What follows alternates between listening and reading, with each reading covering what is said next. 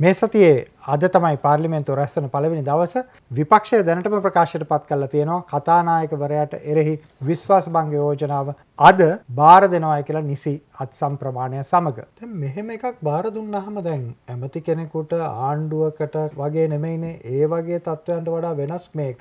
මේක කෙලින්ම කතානායකවරයාට විරුද්ධවයි මේ විශ්වාස භංගය ගේන්නේ. තොට මේ වෙලාවෙති කොහොමද ක්‍රියාත්මක වෙන ඒ ඇත්තටම අත්දැකීමක් තියෙන දෙයක් නෙමෙයි මෙතෙක් මේ රටේ. නමුත් අද රටේ ප්‍රශ්නය තියෙන්නේ. මේ රට ආර්ථිකම වශයෙන් කඩා වැටෙන්න මේ රට ලෝකයේ කොන් කිරීමකට ලක්වෙන්න ප්‍රධානතම හේතුවක් වුණේ ඒකාධිපති වාදය එම නැත්තම් පවුල්වාදය රටේ ප්‍රජාතන්ත්‍රවාදය ගිලගෙන තියෙනවයි කියන කාරණය. ඉති ඒ තත්ත්වෙන් මිදන්න අපි උත්සාහ කරන මොහොතක ප්‍රජාතන්ත්‍රවාදය මේ රටේ නැවත ස්ථාපිත කරනවයි කියන වැරදි පණිවිඩ රෝං සිගනල් එක ලෝකෙට ලබා දෙමින් රට තුළ තිබිච්ච ප්‍රජාතන්ත්‍රවාදයක්. මර්ධනය කිරීම නැති කිරීම සඳහා වර්තමාන කතානායකවරයා විදායකේ අතකොළුවක් බවට පත්වෙල ඉන්න බව දිගින් දිගටම අපි දකිනවා. පාර්ලිමේන්තුව තිය කියන්නේ මේ රටේ උත්තරිතර මායත පාර්ලිමේන්තුවෙන් තමයි මේ සියලු බලතල සියලු දෙනාට ලබාදීලා තියෙන්නේ. හැබැයි පාර්ලිමේන්තුව තුළ